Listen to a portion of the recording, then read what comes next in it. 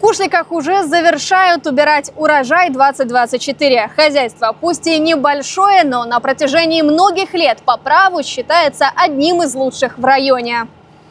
В планах у агрария в концу жатвы выйти на 3000 тонн собранного зерна. Сейчас работы ведутся около деревни Громоща, убирают овес и капризы природы не останавливают хлеборобов. Овес э, вот сейчас на этом поле достаточно неплохой, но он просто прокатанный. Э, у нас прошли такие заливы последние, поэтому хлопцы э, проходятся достаточно так сложно. Но они мастера своего дела, поэтому мы в этом году тысячу гектаров завершаем уборку, более тысячи. Но еще впереди гречиха немного, но она немножко будет попозже, это поздняя культура. А так мы превзошли уровень прошлого года. Урожайность на сегодняшний день 35 центнеров выходит ну, э, никогда не было простых э, э, уборок и, и по, по погодных условиях, и в целом, значит, поэтому, ну, коллектив справился. Сегодня в полях работает 4 зерноуборочных комбайна и 4 машины на отвозке зерна. Причем задействованы в уборочной не только работники самого сельхозпредприятия. К примеру, за рулем Гомсельмаша трудятся военнослужащие Полоцкого погранотряда и водитель Новополоцкого ГОЧС. Таким дуэтом они собрали уже более тысячи тонн нового урожая. Как-то само получилось, не стремилось, но все равно хотелось где-то на подсознании ну, это же престижно все-таки. Получилось. Это первый сезон. Учился на механизатора, появились права. Ну и решил в своем отпуске помочь э, колхозу подработать, набраться опыта. Работа сложная, не сразу все получалось, но благодаря опыту большому своего помощника у нас все получилось. Вот, ну, работаем, набираемся опыта.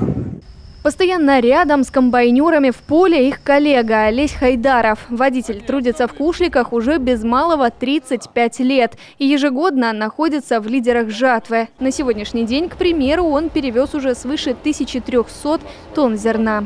Это просто работа, говорю. Для меня нету, говорю, каких-то говорю, планов, целей, говорю. Нет. Как есть, так и есть. Все. Утром пришел на работу, вечером закончил домой. Утром на работу и все. Цели никогда никаких не ставил не вижу в этом смысла. Главное работать и делать свое дело хорошо. Все остальное как есть. По-другому не воспитывали. Я знаю одно, что я говорю, быть хоть водителем хотел. С детства меня папа научил был ездить. И другой работы я для себя не представляю. Ну а так как получилось, что оказался здесь, здесь семья, родственники, все уже здесь, я уже здесь в Беларуси 35 лет. Поэтому для меня это просто уже дом. И все. Так и есть. Работа напряженная, но каждого агрария Кушликов объединяет уверенность в том, что земля требует, чтобы с ней работали. И, конечно, любовь к выбранному делу, особая романтика полей, а еще грамотный руководитель, который не только четко выстроит работу, но и найдет подход к каждому хлеборобу. Каково работать под руководством Федора Федоровича? Замечательный руководитель, хороший человек. Дело в том, что, говорю, вот пока Федор Федорович работает, говорю, поэтому и мы, говорю, работаем добиваемся каких-то результатов. По-другому быть не получится. Именно так. Как руководитель хороший, грамотный человек. И э, как человек тоже хороший. Знает свое дело. Федор Завадский в Кушликах работает уже на протяжении 37 лет. Сначала трудился в качестве агронома, а в 1990-м стал главой хозяйства. Все эти годы сельхозпредприятие постоянно растет. Сменяются лица, осваиваются новые технологии и техника. В целом хозяйство развивается. Неизменным остается одно – безмерная любовь и преданность родной земле. Что для вас значит ваша работа? Ну, это смысл жизни, наверное, уклад жизни и в целом э, другого. Э, ну, ну, коллектив вырос, я вырос здесь, в Кушликах, со мной коллектив рос, э, менялись, правда, но, но так остались, остались преданы вот этому делу э, на земле, делу выращивать хлеб, животноводство, ну, в целом вы видели, вёска облагорожена, так неплохая подстроили церковь, сад посадили, ну, чтобы более-менее комфортно, хотя свои особенности на селе.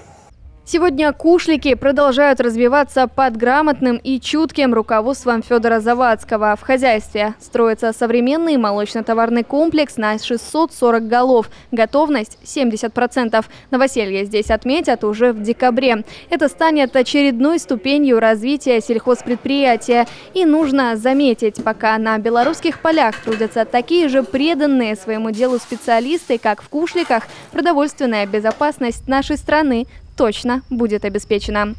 Елизавета Борбат и Сергей Пальцев, телеканал «Звезда».